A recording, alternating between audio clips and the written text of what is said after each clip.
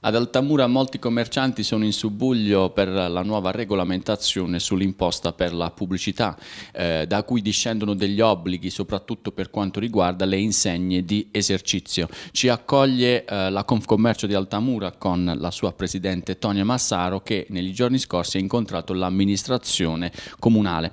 Riusciamo a fare un po' di chiarezza e a spiegare ai commercianti e agli esercenti quali sono i loro obblighi e i tempi per adempiere? Allora, buongiorno, grazie per eh, avermi coinvolta in questa cosa. Io voglio dire che ho incontrato l'amministrazione non per le insegne, ma avevo lamentato la mancanza a volte di, di, di collaborazione e di comunicazione che c'è tra le associazioni di categoria e l'amministrazione la, in un incontro a Bari dove avevamo invitato l'amministrazione sulla nuova regolamentazione della Bolkestan sugli ambulanti. Ho incontrato l'assessore Blocapo e il dirigente Bonamassa e in quella sede diciamo che ho lamentato questa mancanza di, proprio di comunicazione, soprattutto in merito alla questione delle insegne, dove la, il regolamento è stato fatto addirittura ad ottobre, non è chiara la cosa, molti utenti si sono rivolti anche agli, agli uffici competenti e non hanno avuto nemmeno da questi uffici chiarezza. Nel frattempo è partita una campagna di, di diciamo, di, di, controllo da parte della, de, dei vigili urbani e questo ha diciamo, provocato e scatenato il panico.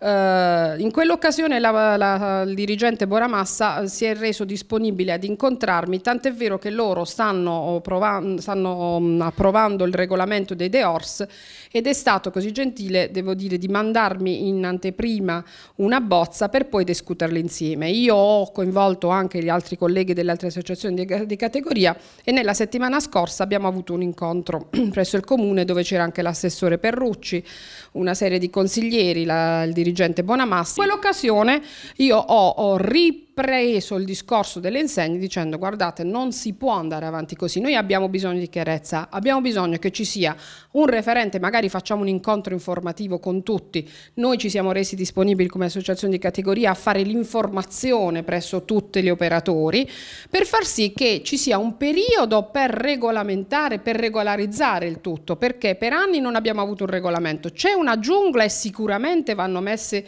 dei paletti perché ci sono delle cose improponibili.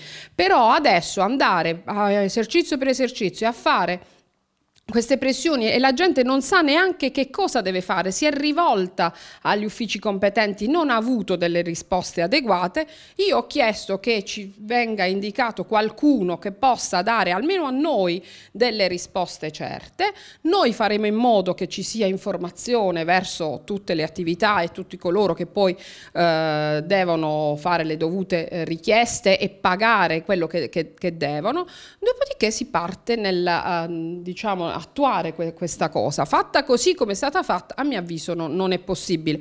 Per cui io ho mandato una mail a tutti i miei associati dicendo di avvisarmi se gli venivano fatti dei verbali o anche delle visite da parte dei vigili. Abbiamo chiesto che vengano sospese queste diciamo, visite. Nel frattempo noi ci faremo carico insieme all'amministrazione di fare la dovuta informazione e poi regolarizzare il tutto e andare avanti quel, per farla applicare la legge. Noi non vogliamo che, che, la legge non venga applicata, però in un momento così difficile anche per tutte le attività, sapete bene che stanno tutti con uh, l'ossigeno, non possiamo andare eh, nelle attività senza che questi ne sappiano nulla perché non c'è stata informazione alcuna. Noi addetti al settore non sappiamo. Io mi sono rivolta a qualcuno, non ho avuto le risposte che dovevano essermi date, per cui abbiamo solo chiesto che ci sia qualcuno che ci informi, che ci dica e ci spieghi anche questo regolamento così come deve essere applicato e gli esercenti non hanno difficoltà a mettersi in regola.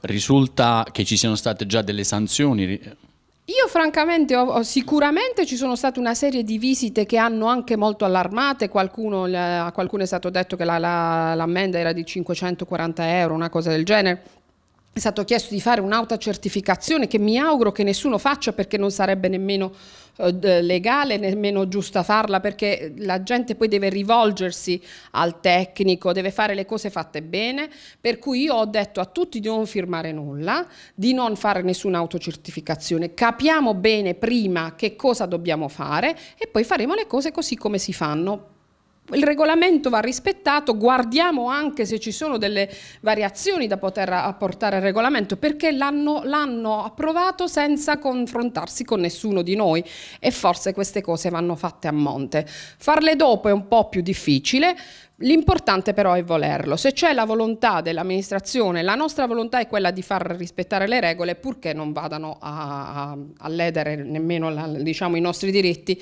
in un momento economico così difficile. Tutto qui. E dunque, siccome è un tema molto sentito in uh, questo periodo ad Altamura, andremo ad ascoltare anche uh, l'amministrazione comunale e anche i diretti interessati, cioè i commercianti e gli esercenti.